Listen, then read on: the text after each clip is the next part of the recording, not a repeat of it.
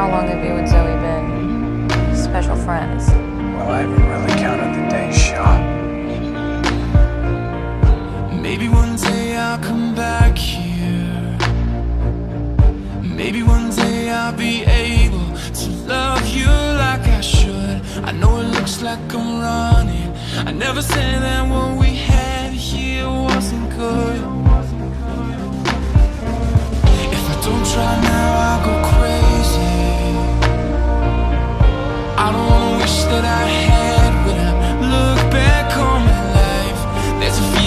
Chasing feels like what I want on the other side.